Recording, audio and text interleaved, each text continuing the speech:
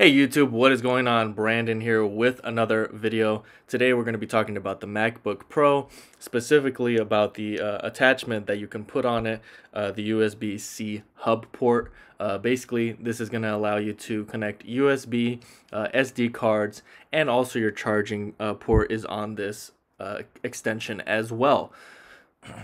There will be a link to this product and the MacBook Pro as well as the printer that you see here um, in the description below. So make sure to check that out. All that information is down there for your convenience. And today we're going to be just printing a photo uh, via the USB uh, A to B cable that is going to be from the computer to the printer. Now without this port and without the USB A to B cable, this is not possible.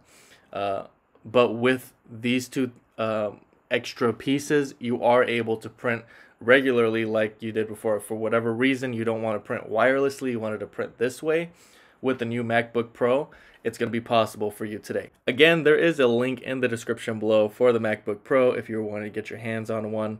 Um, this is the best laptop I have owned by far. Okay, so we're getting right into it. You see that there's two ports there on the side of the uh, laptop and uh, basically you're just going to match them up with the one on the port. Sorry that it gets a little blurry here, but doing the best I can with the camera. Uh, right when it's uh, lined up and you have it in there, then you're going to click it right into place. You see the blue light that comes right on. That means that it is attached.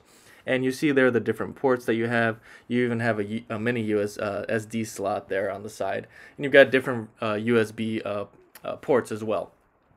So the one in the middle is the actual one that you're going to be able to slide your A to B cable into. Once that's connected, you can then connect the other side uh, to the printer. You probably are familiar with this cable here.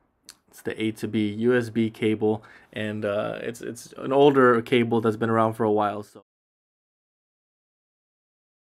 so here you're gonna go right into your uh, system preferences, and the way to connect it is you're gonna select printers and scanners, and it should come up right there as soon as you connect it via the USB uh, cable. Now to be able to print, you're hitting Command and the P on the keyboard and uh, any photo that you want that you have there uh, on your desktop, as long as you select it and hit those two keys, uh, it will print right away. Uh, so it's really that easy. That's your photo there. That's what I wanted to print out. And um, that's basically it. Uh, from here, you can select that printer to print whatever it is that you want from your computer. If this is the setup that you wanted, I hope that this ended up helping you uh, achieve that setup. Um, please make sure to like, comment, and subscribe. It'd be greatly appreciated. Um, again, links in the description below for your convenience. Thank you guys so much for watching, and until next time.